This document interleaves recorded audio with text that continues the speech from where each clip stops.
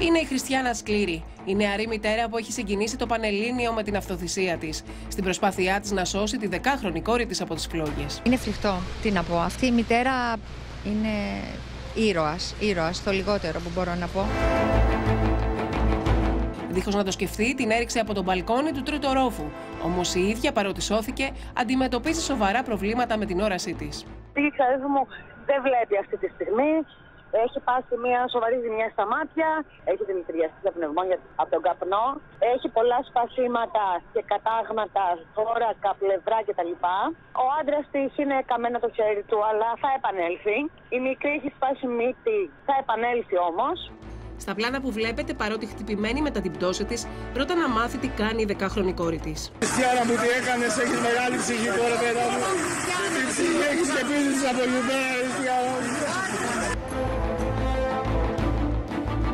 Όλο το νησί βρίσκεται στο πλευρό της οικογένειας. Έβλεπαν τη Χριστιανά να αγωνίζεται για να σώσει το παιδί της και έδιναν κουράγιο στο σύζυγό της που κρεμόταν από τα κεραμίδια του σπιτιού, περιμένοντας τους διασώσεις να τον σώσουν. Πρώτα πέταξε το παιδί για να δει ότι είναι safe και σου λέει: Εγώ ας καώ, δεν πειράζει. Και μετά έπεσε κι αυτή. Λυποθύμησε κιόλας και της ήταν πιο εύκολο να την πετάξει. Γιατί δεν είχε την αίσθηση το παιδί να φωνάζει ή να αντιστέκεται ή οτιδήποτε. Είχε λυποθυμίσει δηλαδή το παιδί πριν το πετάξει. Ναι, γιατί φώναζε η ξαδέρφη μου, βοηθήστε μας και φτάνω τον μπαλκό. Μέσα σε λίγα δευτερόλεπτα η οικογένεια της Χριστιανάς και του Σάκη έχασε τα πάντα. Στο κτίριο στο οποίο έμεναν ζούσε η αδερφή και η μητέρα της, οι οποίες και αυτές έμειναν άστεγες.